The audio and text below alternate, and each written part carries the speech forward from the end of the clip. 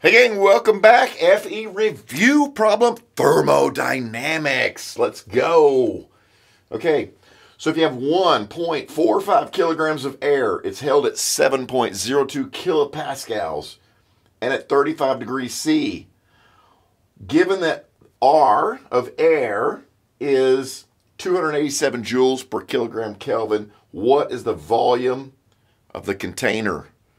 All right, see if you can work it press pause, raise, set, go.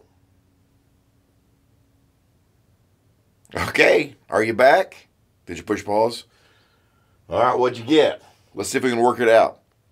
Now, I can almost guarantee you, it's not often I'm going to guarantee you, but I can almost guarantee you that this question is going to be on the FE test. Why is that? Because how did you solve this? Remember, these are questions are designed to be two minutes long, so we got to go fast. So it's going to be something that's in the book, an equation that's there, something that's easy to remember. You know what? This is air. It's the it's an ideal gas. We can use the ideal gas law, can't we? Now you remember two of those. You remember PV equals nRT, and and you remember let's make that a big R, and then you remember PV. Oh, that's not even make P's. PV equals MRT, okay? And you just got to pick which one of those you want. Now, if you pick this one, right, N is going to be what? It's going to be in moles, okay? Was anything given in moles here? No, our air was given as a kilograms as a mass. So we're going to use this guy right here, PV equals MRT. Now, the only thing we need to be careful about here is that our units work out. If, if our units are good, we're going to be good, okay? So we got P. So P is equal to 7.02 kilopascals, which I just want to get that into pascals, which is going to be 7,020 pascals, right? Which is a Newton over meters squared, okay? And then I got my mass. The mass is given over here 1.45 kilograms.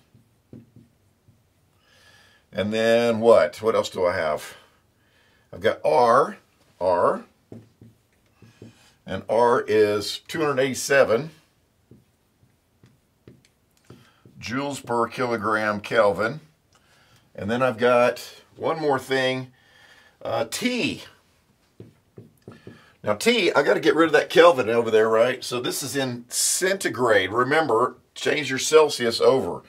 So that's going to be 35 plus 273 to get it into Kelvin, right? Which is 308K. Okay? Now I need to do is plug that stuff into this equation. And I think we should be there. We should get. So now we need to do is plug everything into this equation and solve for V, our volume, right? So we're going to take these three things, multiply them by together, and then divide it by P, and that should give us our volume, right? So let's go. Let's see. M is 1.45 uh, R times, what's that say, 287 times 308 equals divided by 7,020 equals 18.258. Okay?